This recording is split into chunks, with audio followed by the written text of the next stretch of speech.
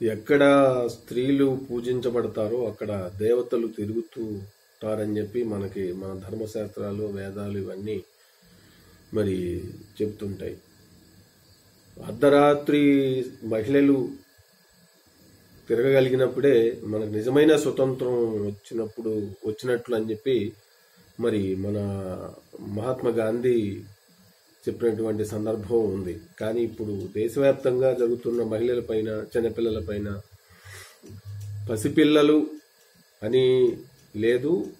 ఇక యుక్త వయస్కుల పైన జరుగుతున్నటువంటి ఆడపిల్లల పైన జరుగుతున్న దారుణాల గురించి చెప్పనవసరం లేదు.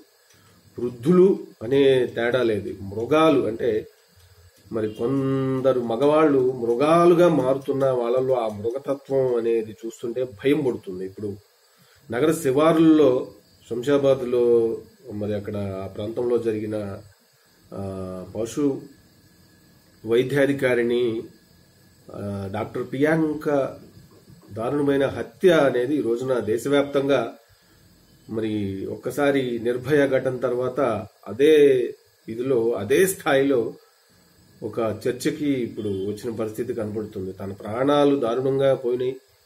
తను అతి ఘోరంగా అతి మాటల్లో చెప్పలేనటువంటి పరిస్థితుల్లో తను అత్యాచారము హత్య గావింపబడినట్టుగా మనకి అర్థమైపోతుంది. ఆమె పోస్ట్ మార్టం రిపోర్ట్ మనం చూసినట్లయితే ప్రియాంక రెడ్డికి సంబంధించి పోస్ట్ మార్టంలో వచ్చిన రిపోర్ట్లో రెండు అంశాలు ప్రాథమికంగా మనకి అవి నిందితులు లేదంటే ప్రియాంకని దారుణంగా ప్రియాంకపై ప్రియాంక రెడ్డిపై హత్య ఆ తర్వాత హత్యాచారం చేసిన నిందితులు వాళ్ళు ముందుగా ఆమెని అంటే చంపిన విధానం చూసినట్లయితే ఊపిరాడకుండా చంపారు అనేది ప్రాథమిక ఒక ఒక పాయింట్ అయితే. రెండవది హత్య చేసిన తర్వాత కూడా ఆమె పైన హత్యాచారం చేశారు అనేది రెండవ ఇది.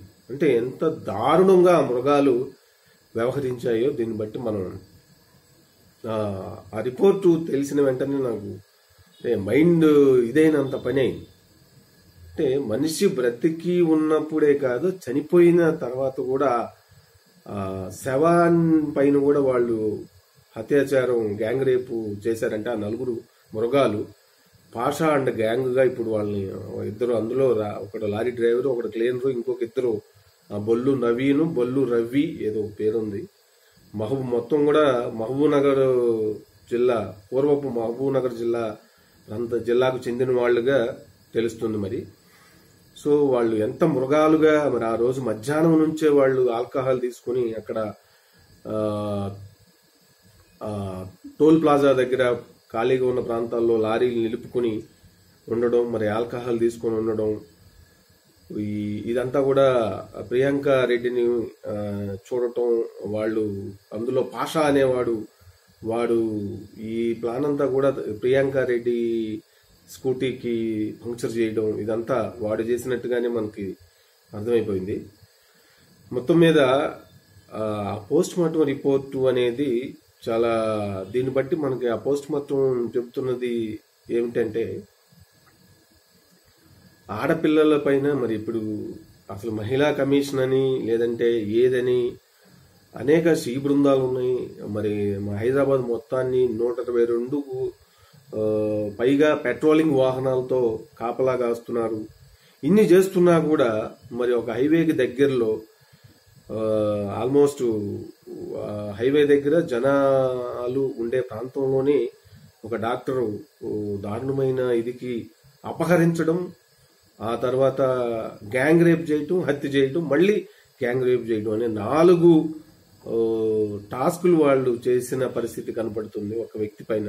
ఎంత క్రూయల్గా అంటే వాళ్ళు మృగాలు కంటే కూడా తను పశువులకి వైద్యం చేస్తూ వాటి ఆ- ఆ పశువులు కి ప్రాణం పోస్తున్న డాక్టరు ఈ మనుషుల రూపంలో ఉన్న పశువులు ప్రాణాలు మృగాలు ఆమె ప్రాణాలు తీయటం అనేది ప్రాణాలు తీయటమే కాదు తనని ఘోరంగా హింసించి దాదాపు నైన్ థర్టీకి ఆమె అపహరించబడినట్టుగా తెలుస్తోంది. మనకి మూడున్నర ఆ ప్రాంతంలో ప్రాణాలు పోయినట్టుగా పోస్ట్ మార్టం రిపోర్ట్లో వచ్చింది. సో ఎంత నరకం అనుభవించి ఉంటుందో ఇది ఇప్పుడు ఇదంతా కూడా ఒక టెంపర్ ఒక బ్లాస్ట్. మానవ తల్లిదండ్రుల్లో ఇప్పుడు అన్న చెల్లెలు మనకి ప్రియాంకారెడ్డి మన ఫ్యామిలీ మెంబర్ అయితే ఏంటి? మనం ఎలా స్పందిస్తాము అనే కోణంలో ఆలోచించాల్సిన విషయం. ఇది అఫ్ కోర్స్ ఒక ప్రియాంక రెడ్డికి జరిగితే మరి ఇదని కాదు. ఏ వర్గాల్లో ఏది జరిగినా కూడా ఆడపిల్లల పైన కఠినమైన శిక్షలు శిక్షలు అమలు జరపాల్సిన పరిస్థితి ఇప్పుడు ఇది నొక్కి చెప్తుంది. మొన్న అప్పుడు ఈ మధ్య వరంగల్లో మరి తల్లి పొత్తిళ్ళలో ఉన్న పసిబిడ్డని తీసుకెళ్ళి వాడు దారుణంగా ఇది చేసి అత్యాచారం చేసి ఆ బిడ్డని మరి చంపివేసిన పరిస్థితి. వాడి వాడికి ఉరిశిక్ష అని అక్కడ జిల్లా కోర్టు విధిస్తే వాడు హైకోర్టుకు వస్తే వాడికి యావజ్జీవ కారాగార శిక్ష అని చెప్పి వాడికి ఇది ఇచ్చారు. మరి ఇదే రోజున మళ్ళీ నిన్న మానస అనే ఒక యువతిని వరంగల్లో బర్త్డే ఉందని చెప్తే వాడు అంటే ఫ్రెండ్ అయిన పాపానికి ఒక బయటికి వెళ్దామని చెప్పి వాడు కారులో నమ్మించి కారులోనే ఆ అమ్మాయి పైన అఘాయిత్యం చేయడం ఇవన్నీ చూస్తుంటే అబ్బా అసలు ఆడపిల్ల అర్ధరాత్రి కాదు కదా పట్టపగలు అసలు ఇంట్లో నుంచి బయటికి పంపిద్దాము అంటే తల్లిదండ్రులు ఆడపిల్లలు ఉన్న తల్లిదండ్రులు కుటుంబ సభ్యులు భయపడే పరిస్థితులు వచ్చేస్తున్నాయి. సో మరి ఈ పరిస్థితుల్ని ఆపాలంటే చట్టాలను కఠితర కఠినతరం చేయాల్సిన ఆవశ్యకత ఉంది. శిక్షలు మరి అంటే దీనికి టెక్నాలజీ సినిమాలు సాహిత్యం అనేక రకాలైన కారణాలు ఉంటాయి. అది తర్వాత డిబేట్ కానీ మొత్తం మీద ప్రియాంక రెడ్డిని లేదంటే ఆమెని చంపిన అత్యాచారం చేసి హత్య చేసిన విధానం అదంతా గగ్గురు పొడుస్తుంది. సో అదే స్థాయిలో ఆ శిక్షలు అటువంటి ఆలోచనలు అటువంటి సంఘటనలు అసలు ఆ థాటు వస్తేనే షేక్ అయిపోయే విధంగా శిక్షలు ఉంటే తప్ప నియంత్రణ కావేమో అని అనిపిస్తుంది నాకు. అటువంటి శిక్షలు ఇప్పుడు ఈ నలుగురికి ప్రియాంక రెడ్డిని దారుణంగా మరి ఆమె జీవితాన్ని ఆమె ఇదిని బలి తీసుకున్న ఆ మృగాళ్ళని బహిరంగ ఉరి లేదా బహిరంగంగా వాళ్ళని అంగ విచ్ఛేదనం అయినా చేయాలనేది నా నా డిమాండ్. న- అంగ విచ్ఛేదన అంటే ఒక్కొక్క ఇదిని నిల- నిలబెట్టి నరికేయడమే. ఇంకేమీ పెద్ద మినహాయింపులు నేను కోరుకోవట్లా. ఆ ఆ అవకాశం ఉంటే అవకాశం ఇస్తే నేనైనా నరికి పడేస్తా. ఇందులో సందేహమే లేదు.